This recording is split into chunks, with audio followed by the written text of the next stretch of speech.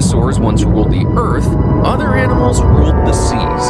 Take the ichthyosaurus, a perfect example of what I'm talking about. They have a large dorsal fin, much like a dolphin, or actually more like a shark.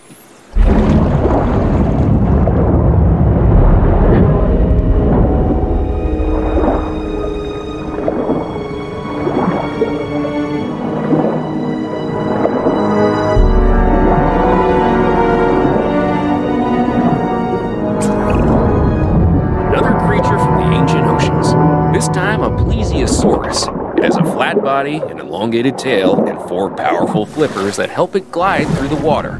Like modern day sea mammals, it has to come up for air.